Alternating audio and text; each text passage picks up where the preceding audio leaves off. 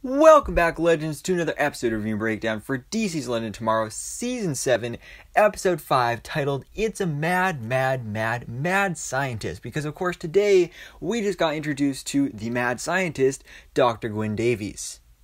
So, of course, before getting into the episode, got to give a quick spoiler warning. If you've not yet seen the episode, do be warned because we are talking spoilers. But without further ado, let's go ahead and jump into this breakdown. DC's Legends of Tomorrow, Season 7, Episode 5. So when we start off the episode, the legends have now officially arrived in New York because, of course, as we saw at the end of last week's episode, Gary was on his way to New York and he had the key to the to John's pocket dimension manor, and the legends were all inside the manor. So he arrives in New York, just opens the door, and boom, the legends are now officially in New York as they have been trying to get to this whole time. So while they do that, Nate and Zari are currently in the manor, specifically Zari 1.0, because she came back at the end of last week's episode, and they're basically just trying to figure out what's going on with Robot Hoover, where did he come from, who sent him, all that stuff. Basically, they're not really able to figure out much, but they, they got that going on there.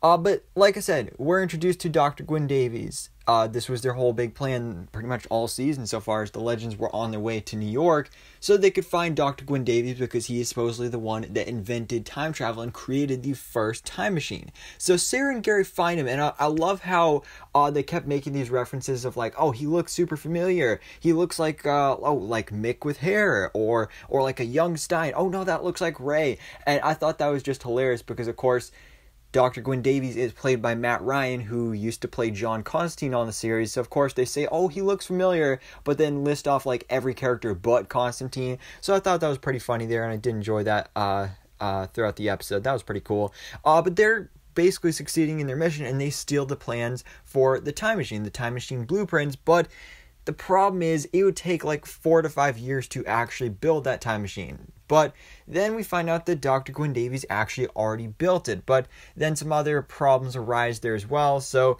yeah, they've got to they've got to come up with a new plan basically. Plan B.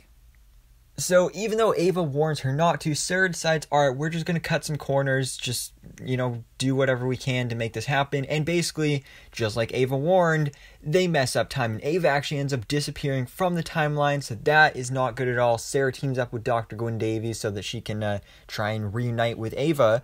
And I love this part here where Zari reprograms Hoover to talk to Thomas Edison and retrieve the time travel plans, but then uh, robot Hoover actually ends up blowing up, and then that ends up killing Edison. I don't know if he has a heart attack or something, but the real Edison. So then, of course, Robot Hoover comes in with now a robot Edison. So now we've got even more robot historical figures on the loose here in the season. And again, we still don't know who sent them, where they're coming from, what their plan is, but basically they they just they're just sent to hunt down the legends. But who is sending them? I still think it's maybe Bishop because he was set up in episode 3 and we haven't seen anything from him since then, but I still feel like it is probably Bishop, but you know, we'll, we'll see for now.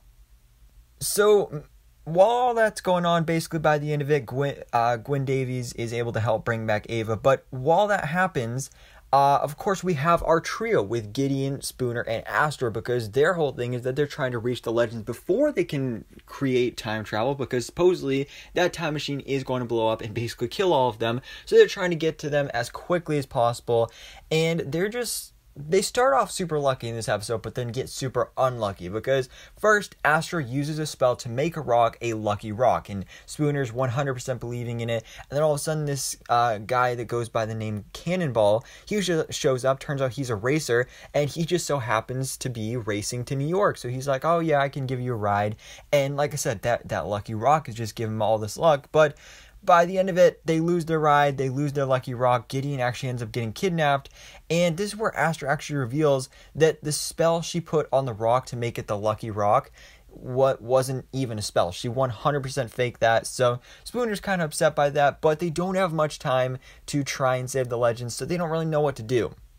So, as the Legends and Dr. Gwyn Davies are hopping in the time machine, getting ready to time travel to 2021, which honestly I think is kind of weird. Like, what? Why did they not think to wait for our trio here and they're, like they're just gonna leave them in the 20s? I, I think that was kind of weird. Uh, but anyway, they were getting ready to time travel, but while as that's happening, Gideon wakes up and she like you know takes over the the guy that kidnapped her and uh, is basically trying to make her way to uh, Dr. Gwen Davies laboratory while Astra actually casts some sort of like lightning spell to hopefully cause a blackout. And luckily, she is successful for that. So uh, the trio does arrive. They save the day. They don't get to time travel, at least not on that part.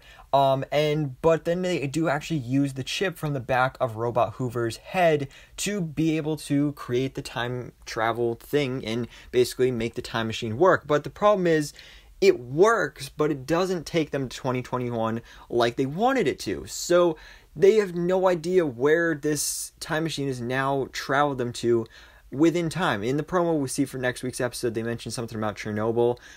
I, I honestly don't know what that is. Um, so you'll have to fill me in uh, in the comments. But yeah, so they don't know where they are. It clearly did not work. They've got to uh, fix a few things with the time machine, but at least we're getting out of the 1920s because you know five episodes in, I, I was getting, getting a little bored with the 1920s, so I'm glad that we're kind of moving past that. But I'm excited to see where things go from here because, I mean, that promo did look really action packed, so I'm excited to see what happens from here. But for now, guys, let me know your thoughts in the comments below. What do you think about tonight's episode of DC's Legends of Tomorrow, Season 7, Episode 5? And of course, as always, thanks so much for watching. Please drop a like if you enjoyed this video and hit the subscribe button so I keep up to date on everything goes on in the DC life.